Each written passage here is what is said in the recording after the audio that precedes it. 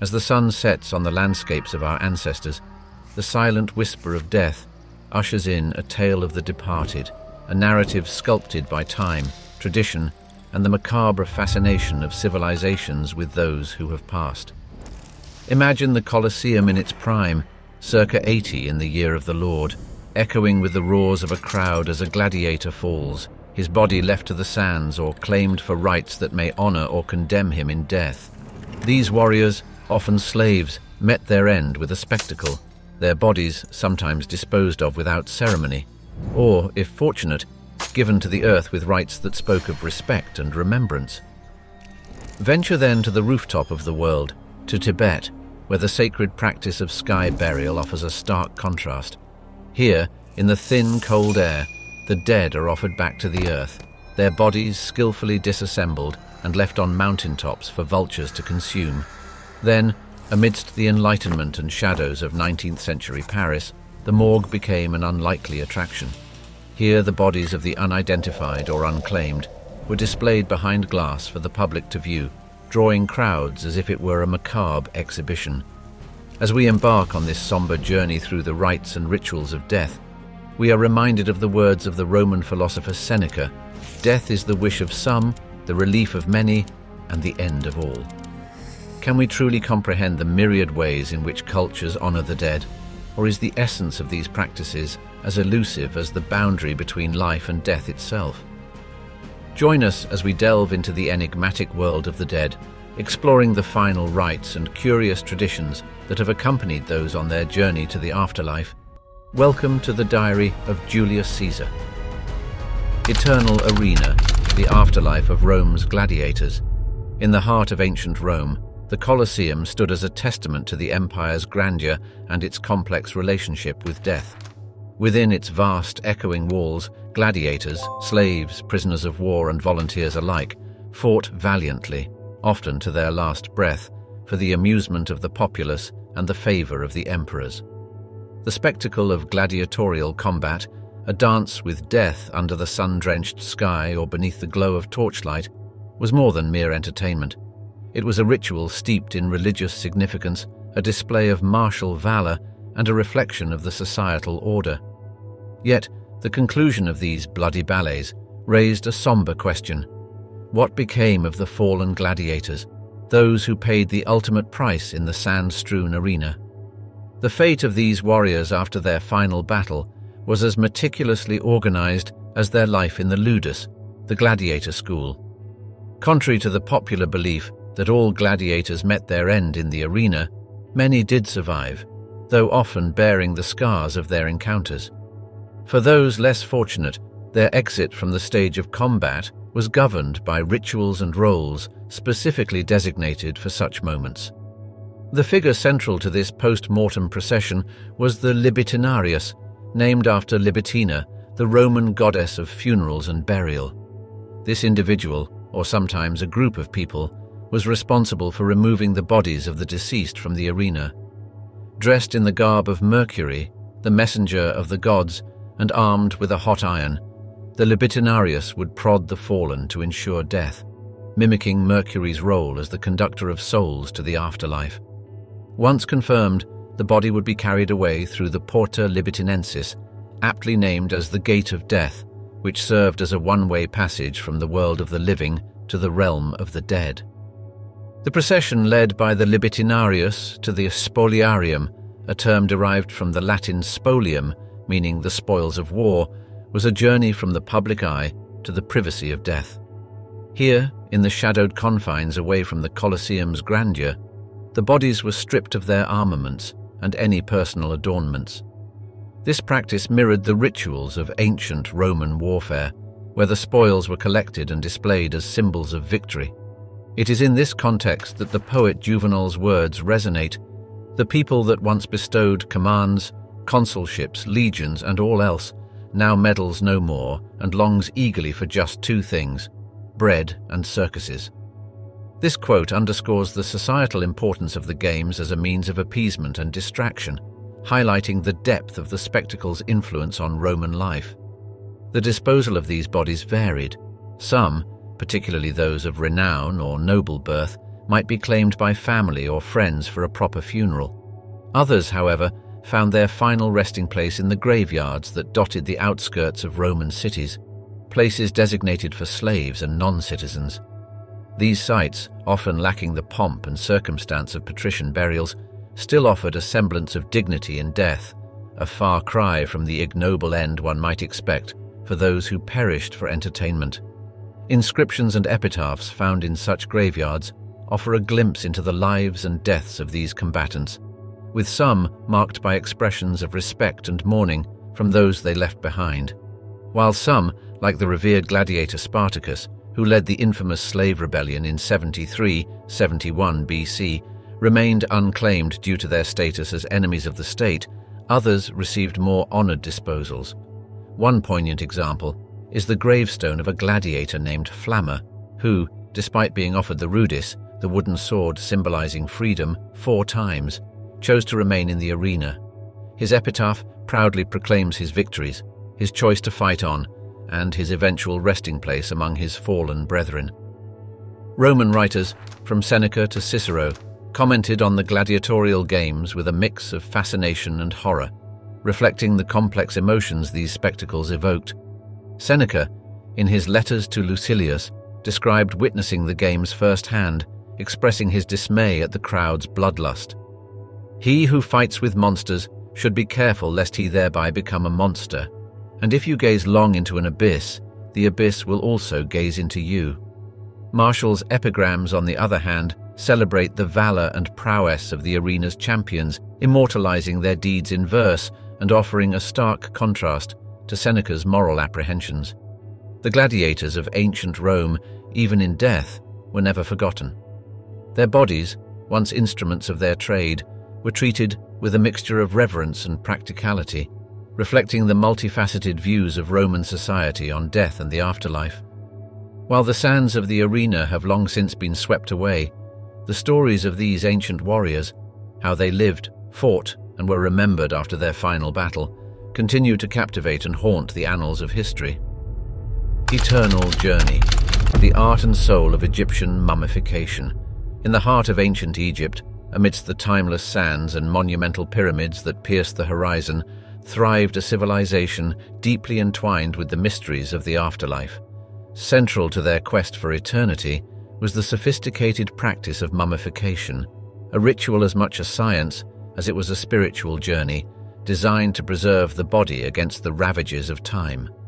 This elaborate process, perfected over millennia, was not merely about death, but a profound testament to life, belief, and the enduring soul. The origins of Egyptian mummification trace back to the earliest dynasties, around 3000 BCE, with its techniques evolving into an art form by the time of the New Kingdom, around 1550 to 1070 BCE. The Egyptians believed in an afterlife where the dead lived on, their existence paralleling that on earth, but in a divine realm. For such a journey, the preservation of the body was crucial. It was thought that the spiritual elements of a person their ba, soul, and ka, spiritual essence, required a physical vessel to return to, ensuring immortality. The process began with the purification of the body, washing it with water from the sacred Nile. The removal of internal organs followed, with the liver, lungs, stomach, and intestines carefully extracted and placed in canopic jars, each protected by one of the four sons of Horus. The heart, believed to be the seat of wisdom and emotion, was typically left within the body, deemed essential for the final judgment by Osiris, the god of the afterlife. Perhaps the most recognized step in the mummification process was the dehydration and preservation of the body using natron, a naturally occurring salt mixture. This desiccation phase, lasting about 40 days, was critical to preventing decay. Following this, embalmers skillfully wrapped the body in hundreds of meters of linen interspersed with amulets and charms to protect the deceased in their journey. The Book of the Dead, a collection of spells and prayers, often accompanied the mummy, guiding the deceased through the dangers of the underworld. The case of Ramses II, 1279 to 1213 BCE, whose mummy reveals the skill of ancient embalmers, highlights the effectiveness of these methods. Over 3,000 years later, the pharaoh's features remain recognizable, a silent witness to the meticulous care of his embalmers. Prominent figures, such as pharaohs and nobility, received the most elaborate mummification, reflecting their status and the wealth they could devote to achieving immortality. The discovery of Tutankhamun's tomb in 1922 by Howard Carter revealed the pinnacle of mummification artistry and the lengths to which the ancient Egyptians went to secure the afterlife for their kings. The young pharaoh's body, adorned with a golden mask and surrounded by treasure, lay in a series of nested coffins, each more intricate than the last. Mummification was not reserved for the elite alone. Variations of the practice were accessible to those of lesser means. The level of care and complexity in the mummification process mirrored the deceased's social status and their family's resources. However, the underlying belief in the afterlife and the need for a preserved body united all classes in ancient Egyptian society. The Fayum mummy portraits, for instance, reveal a blend of Egyptian and Roman burial practices, illustrating the widespread adoption and adaptation of mummification across different periods and cultures within Egypt. The practice of mummification, steeped in religious significance, also reflected the ancient Egyptians' deep connection to their environment. The use of natron from the desert, resins, and oils from local plants, and the reliance on the Nile's life-giving waters exemplify their harmony with the natural world. This connection is epitomized in the words of the ancient Egyptian sage Ptahhotep, who advised, Follow the heart as long as you live, a reminder of the values that guided Egyptian life and death. Spectres of Paris, the macabre lure of the 19th century morgue. In the heart of 19th century Paris, amidst the grand boulevards and bustling cafes, lay an attraction that drew the curious, the morbid, and the just plain bored, the morgue. This peculiar institution, situated on the Ile de la Cité near Notre Dame, transformed the sombre affair of death into a public spectacle, offering a window into the city's darker undercurrents. The Paris morgue, established in its most famous form in 1864, became a testament to the era's fascination with death and the macabre, a place where the anonymous dead were displayed behind glass for the public to view.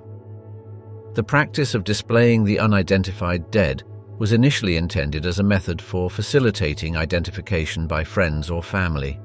However, it quickly evolved into a form of entertainment and voyeurism, attracting thousands of visitors daily. The morgue's allure was not lost on travellers either, with guidebooks of the time often listing it alongside the Louvre and the Eiffel Tower as a must-see attraction. The spectacle was free, the doors were open to all, and the display was ever-changing, with the bodies replaced frequently to make room for new unfortunates. The tableau presented to visitors was macabre, yet meticulously arranged. The bodies, some fresh and others in various stages of decay, were laid out on marble slabs, cooled by a system of refrigeration to slow decomposition. A sheet of glass separated the spectators from the deceased, a barrier that did little to diminish the sense of intimacy with death. The scene was illuminated by a strategically placed skylight, casting a ghastly glow on the faces of the dead, enhancing the eerie spectacle. The phenomenon of the morgue as a tourist attraction speaks volumes about the societal attitudes towards death. In 19th century Paris, it was a period marked by rapid change and upheaval, from the revolutions of 1848 to the Franco-Prussian War and the Commune de Paris. In such times, death was a constant presence, and the morgue offered a place to confront mortality in a manner that was both detached and intensely personal.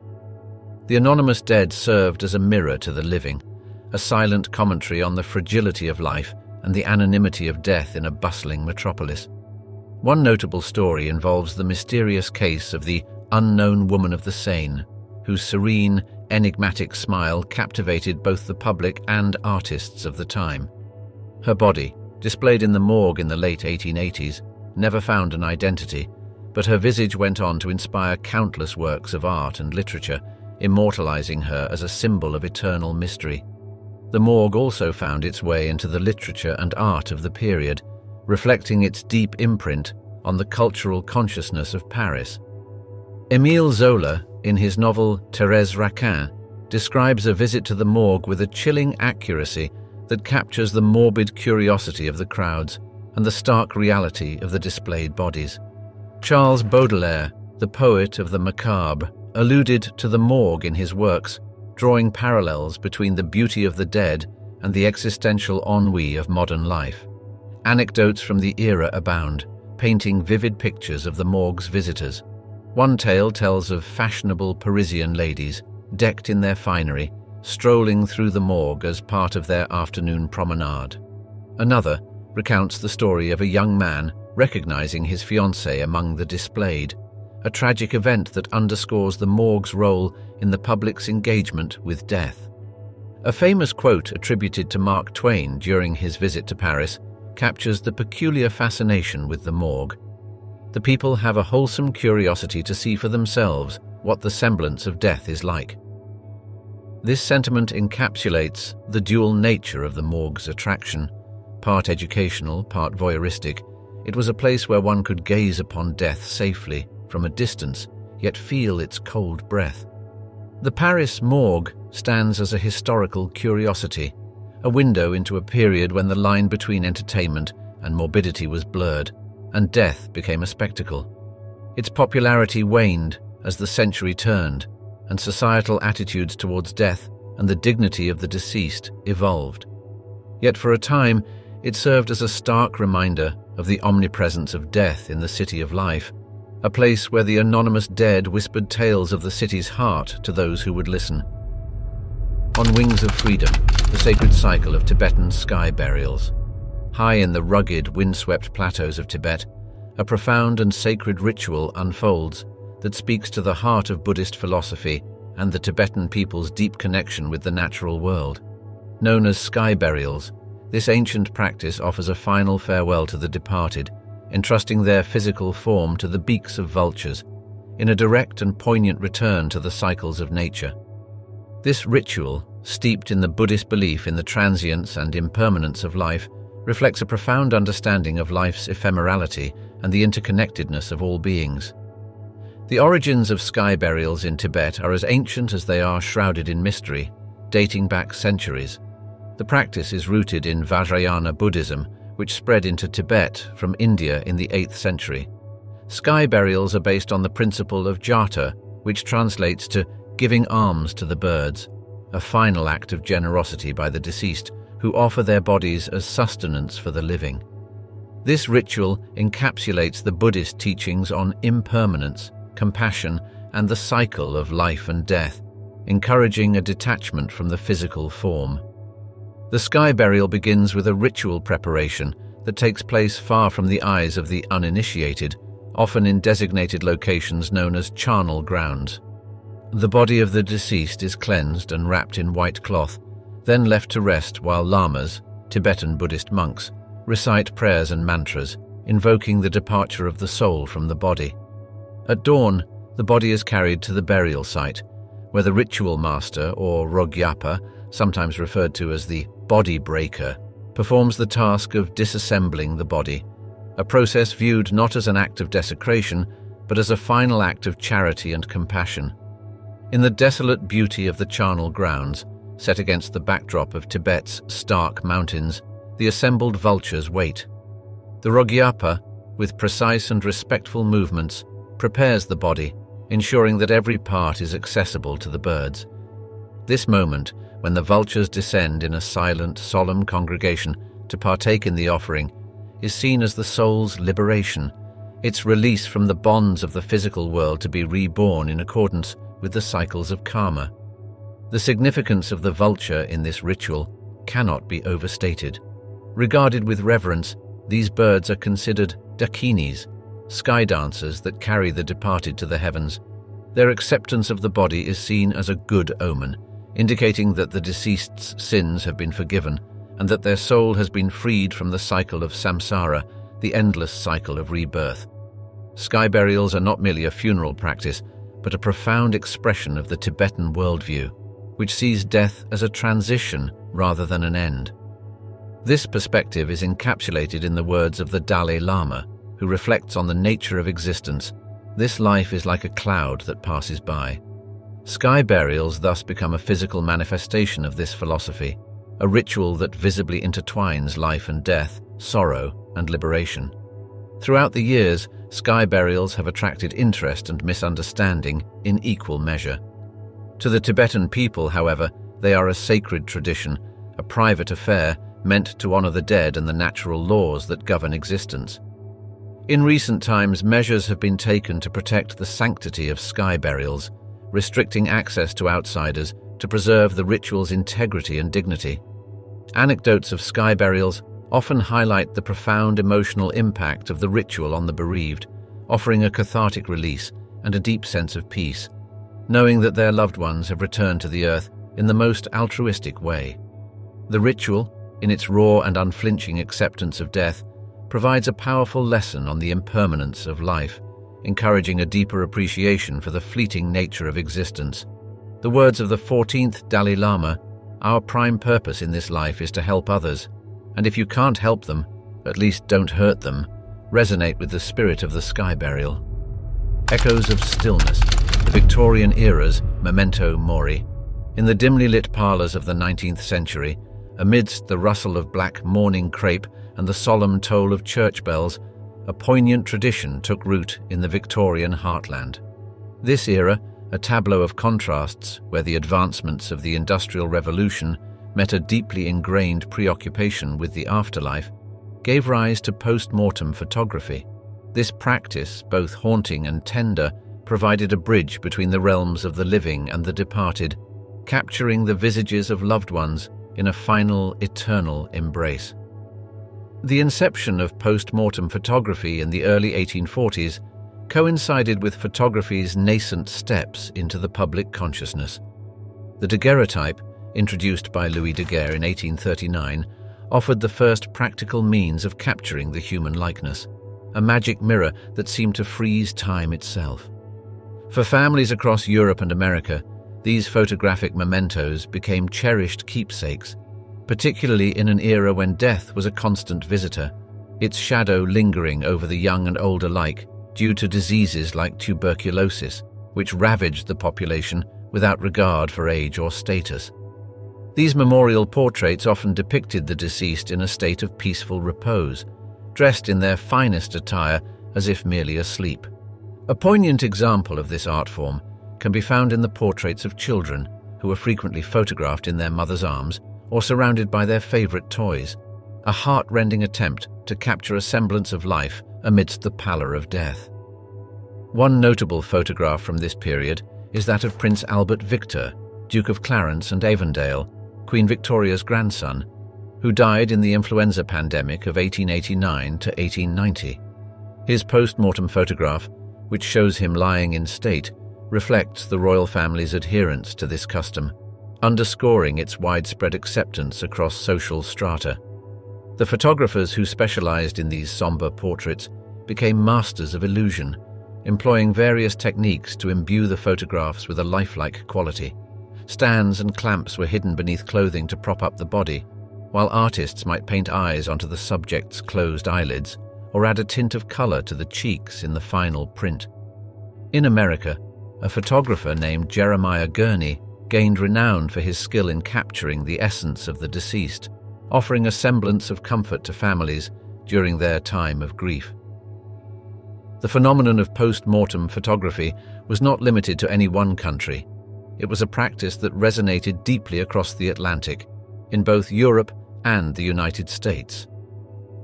The American Civil War, 1861 to 1865, with its catastrophic loss of life, saw a surge in the demand for these mementos as families clung to the images of soldiers who would never return.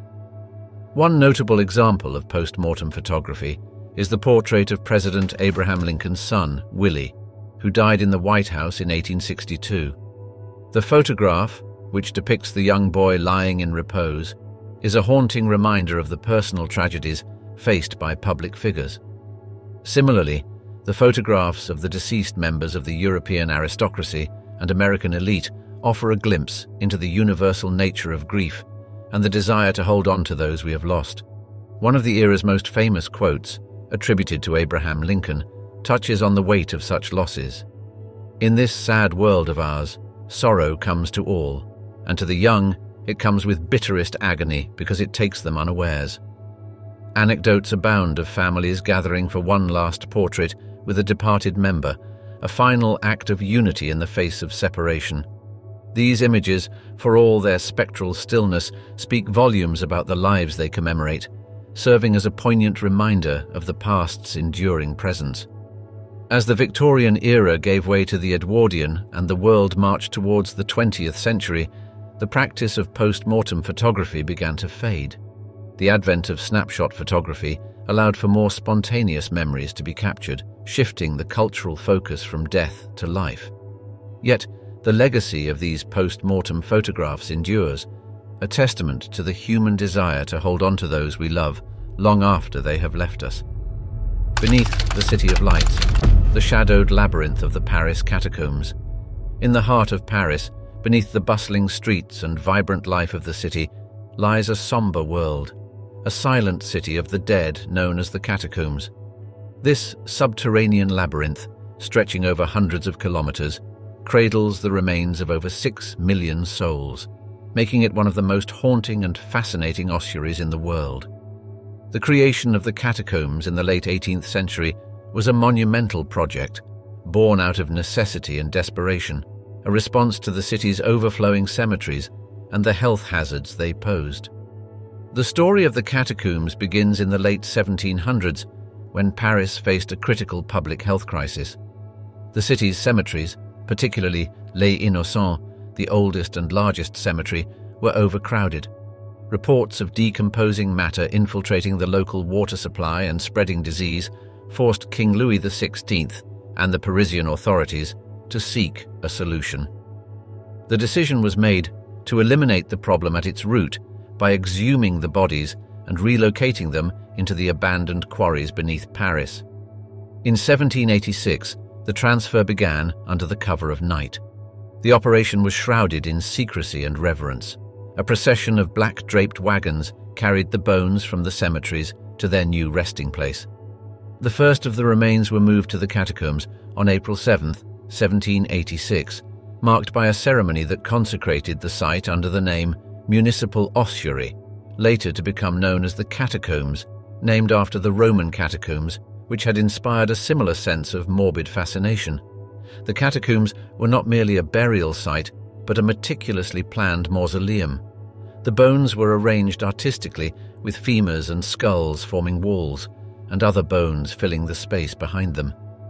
This arrangement was not done solely for practical reasons, but also served as a reminder of the equality of death, stripping away the distinctions of status, wealth, and power that had divided these individuals in life. Among the labyrinthine corridors, one can find inscriptions, poems, and quotes that ponder mortality and the human condition. A famous inscription at the entrance reads, Arrête, c'est ici l'empire de la mort. Stop, this is the empire of death. A solemn greeting to visitors that underscores the catacomb's dual role as both a burial site and a place of reflection on life's transient nature. The catacombs have also been a source of fascination and inspiration through the centuries. During the French Revolution, it is said that members of the Paris Commune used the tunnels as a hideout. Later in the 19th century, the catacombs captivated the imagination of writers and poets. Victor Hugo referenced this underground world in his novel Les Miserables, and it is rumored that Philippe Aspairt, a doorkeeper at the Val de Grace Hospital, wandered into the catacombs in 1793 and was lost, his body not discovered until 11 years later, becoming part of the lore of the catacombs. Over the years, the catacombs have seen various uses, from a clandestine meeting place for secret societies to a unique venue for concerts and events in the 19th century. Yet, the catacombs' primary role has always been as a monumental ossuary, a stark reminder of Paris's history and the ever-present shadow of death beneath the city's streets. The catacombs of Paris remain one of the city's most enigmatic and compelling attractions, drawing visitors from around the world eager to explore its dark corridors and reflect on the stories of the millions who rest within its walls. This subterranean ossuary, a product of Paris's tumultuous history, stands as a testament to the city's ability to reinvent itself, even in death, and continues to captivate the imagination of all who dare to venture beneath the City of Lights. Shadows beneath the soil, unearthing the Black Death's legacy. In the mid-14th century, Europe was enveloped in a shroud of death as the Black Death, a devastating pandemic caused by the bacterium asterisk, Yersinia pestis asterisk, swept across the continent. Between 1347 and 1351, it claimed the lives of an estimated 25 million people, up to a third of Europe's population at the time. The scale of the tragedy was unimaginable, with entire communities vanishing in the wake of the disease. In this grim era, the logistics of death became a morbid reality as traditional burial practices were overwhelmed by the sheer number of victims. This led to the creation of plague pits and mass graves, which have since become a haunting legacy of the pandemic's toll. The Black Death's arrival in Europe was marked by ships docking at the port of Messina, Sicily, in 1347, their crews either dead or dying from the plague. From there, the disease spread like wildfire, leaving cities, towns, and villages grappling with an unprecedented mortality crisis. Traditional burial grounds quickly overflowed, necessitating the use of mass graves. These were often hastily dug on the outskirts of settlements or within monastic lands, where the bodies of the deceased could be interred en masse. In London, the situation was dire. The city's churchyards could no longer accommodate the dead, leading to the establishment of several emergency burial sites. One of the most notable was the East Smithfield Black Death Cemetery, established by royal decree. Archaeological excavations in the area have uncovered mass graves containing bodies stacked five deep, a reflection of the chaos and desperation of the time. Records from the time, including those from the Tower of London, indicate that this site alone may have been the final resting place for tens of thousands of Londoners, point to the rapid establishment of this site to accommodate the dead with King Edward III issuing orders for its creation in 1348.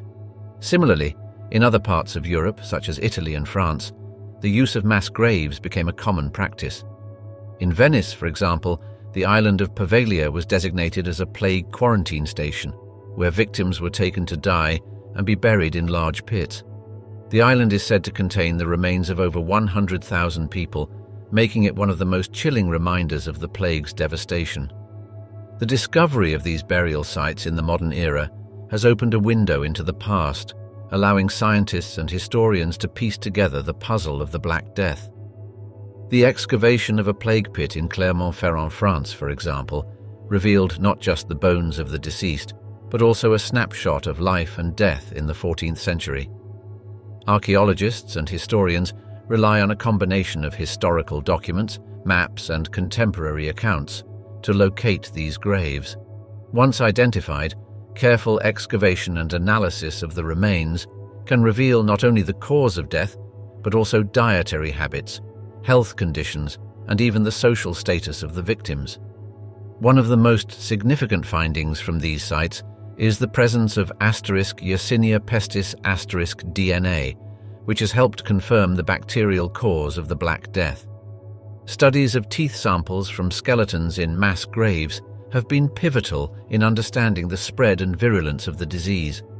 For instance, the analysis of remains from a mass grave in Barcelona, Spain, provided crucial data on the strain of the bacterium, shedding light on how the disease spread through Europe. Additionally, isotopic analysis of bones has shed light on the diets and origins of the victims, suggesting that the plague affected both locals and migrants living in urban centres. The ethical implications of excavating mass graves are complex, balancing the pursuit of knowledge with respect for the deceased. In places like the plague village of Eyam in England, where the local population chose to quarantine themselves to prevent the spread of the disease, excavations are approached with particular sensitivity, mindful of the community's sacrifice and suffering. Among the anecdotes that bring the human element of this tragedy to life is the account of Agnolo di Tura, an Italian chronicler who wrote of the Black Death in Siena, Italy. He lamented, and so many died, that all believed it was the end of the world. This personal account, alongside others from the period, highlights the despair and helplessness felt by those who lived through the pandemic. As we uncover these layers of history, we are reminded of the words of Giovanni Boccaccio in The Decameron, who wrote of the plague. In the face of so much affliction and misery, all respect for the laws of God and man had broken down and been extinguished in our city. Sailing into eternity, the majestic Viking ship Burials. In the shadowed mists of the north, where the sea caresses the land and the echoes of the past whisper with the force of the gale, the Viking ship burials stand as a monumental legacy of the Norsemen. This venerable tradition, flourishing from the 8th to the 11th centuries across the Nordic lands and beyond, embodies the essence of the Viking spirit, a testament to their profound bond with the sea, their unwavering belief in the afterlife, and their pursuit of honor beyond the mortal coil. The genesis of this ritual lies deep within the Norse cosmology, a belief system where the fabric of life and the afterlife is interwoven with the elements, and the ship, an unparalleled symbol of Viking ingenuity and exploration, serves as the chariot to the realms beyond. The discovery of the Oseberg ship in Norway's soil in 1904, a vessel dating back to 834 AD, unveils the grandeur of these ceremonies. Within its wooden embrace lay two women of noble lineage, their earthly journey concluded amidst a trove of artifacts and symbols of power, suggesting a ceremony that transcended mere burial, a rite of passage into mythology itself. The meticulous orchestration of the ship burial ritual reflects the societal values and spiritual beliefs of the Vikings. The Gokstad ship, unearthed in 1880 near Sandefjord, Norway, and dating to the late 9th century, cradled the remains of a distinguished warrior, surrounded by his weapons, horses, and even ships, ready to sail him into the afterlife. These practices were not merely funerary, they were a celebration of the deceased's life, a testament to their valor, and a physical manifestation of their journey to the afterlife, believed to be overseen by the gods themselves. Among the sagas and the lore, the practice of setting ablaze a ship and sending it adrift as a funeral pyre captures the imagination, a vivid imagery that has become synonymous with Viking funeral rites. While archaeological evidence for such practices is rare, the account of the death of Balder, Odin's son, in the Icelandic Eddas, where his body is placed on his ship Hringhorni, set aflame and pushed out to sea, encapsulates the poetic nature of Norse funerary customs, blending myth with the elemental forces of fire and water. The Vikings' reach extended far beyond the fjords of Scandinavia, leaving traces of their burial traditions across the lands they touched. The presence of ship burials in places like Scotland and the Isle of Man attests to the cultural exchange between the Vikings and the peoples of the British Isles. The Scarboat burial on Orkney, Scotland, dating to the 10th century, with its array of Norse grave goods alongside a Viking woman, a child and a man, illustrates the widespread influence of Viking customs, even in death. Central to the Viking ship burials is not just the ritual itself, but the individuals it honored, warriors, seafarers, and significantly, powerful women. The Oseberg burial, with its opulent grave goods and the prominence of the women it entombed, challenges modern perceptions of Viking society, revealing a complex social structure where women could hold considerable status and power. These burials narrate stories of a past where the sea was a pathway not just to conquest and exploration, but to the very heart of the divine. The legacy of Viking ship burials, a fusion of art, spirituality, and maritime prowess, continues to captivate and enlighten. Through the meticulous work of archaeologists and historians, each excavation peels back the layers of time revealing more about the lives of those who lived with the rhythm of the oars and the call of the sea. In these ancient rites, we glimpse the universal quest for meaning in death and the desire to immortalize the journey of the soul. Thus, the Viking ship burials stand as a profound emblem of a bygone era, an era where the line between the earth and the ethereal was navigated with ships of oak, under sails billowing with the winds of legend, carrying the Norsemen from the fjords of their mortal existence to the harbours of eternity. In the words of an old Norse proverb, the brave man well shall fight and win, though dull his blade may be. Shadows on the crossroads, the grim spectacle of gibbeting. In the annals of punitive justice, few practices evoke the macabre tableau of gibbeting, a method where the bodies of executed criminals were displayed in metal cages for public view. This spectacle, rooted in the belief of its efficacy as a deterrent against crime, casts a long shadow over the history of criminal punishment, reaching its zenith in England during the 18th and early 19th centuries. Gibbeting, also known as hanging in chains, was not just a method of punishment, but a societal ritual, imbued with layers of social and psychological implications that mirrored the era's complex relationship with law, order, and morality. The practice of gibbeting was reserved for the most heinous of crimes, such as murder or piracy, serving as a stark warning to any who would dare tread a similar path. The process involved hanging the convicted criminal, followed by encasing their body in a gibbet, a metal cage shaped to the human form, and suspending it at a prominent crossroads or near the scene of the crime.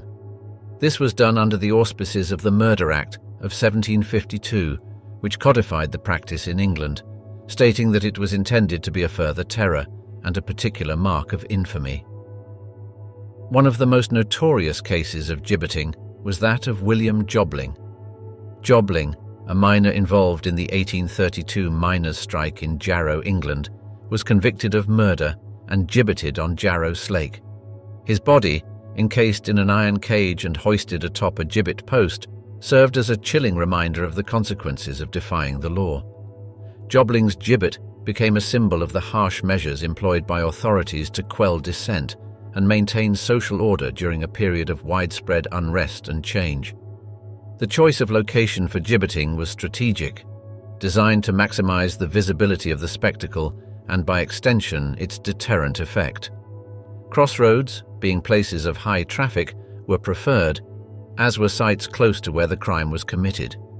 This ensured that the message, the fate awaiting those who broke the law, was delivered to as broad an audience as possible, embedding the memory of the spectacle in the communal consciousness.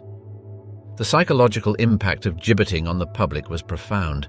The display of decaying bodies, left to swing in the air until they fell apart, was a stark visual representation of the state's power over life and death. It was intended to instill fear, not just of punishment, but of social ostracization. The criminal, in death, became an object lesson in the consequences of transgression, a physical manifestation of society's boundaries. Samuel Johnson, reflecting on the efficacy of public executions, remarked, Executions are intended to draw spectators, if they do not draw spectators, they don't answer their purpose. Yet, the effectiveness of gibbeting as a deterrent remains a subject of historical debate. While it undoubtedly left an indelible mark on the public psyche, its ability to prevent crime is less clear. Some contemporary observers noted that these gruesome spectacles might have had the opposite effect, desensitizing the public to violence and brutality, or worse, turning criminals into martyrs in the eyes of those who felt oppressed by the same system that sanctioned such punishments. The practice of gibbeting gradually fell out of favor in the 19th century as societal attitudes towards punishment and rehabilitation began to shift. The case of James Cook in 1832, who was gibbeted near Leicester for the murder of his creditor, marks one of the last instances of gibbeting in England. The public outcry and discomfort generated by Cook's gibbeting contributed to the growing movement against the practice, leading to its abolition in England through the Anatomy Act of 1832 and the eventual decline of public execution spectacles. Echoes of the blade, the final resting places of the guillotine's shadow.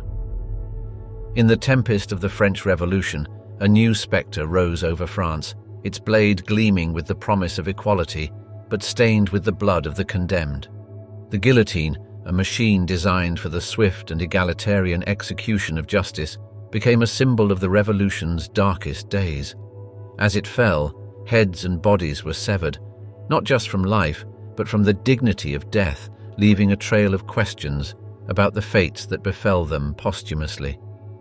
On January 21, 1793, Louis XVI, once the sovereign ruler of France, was escorted to the Place de la Révolution now Place de la Concorde, in Paris, where he faced the guillotine.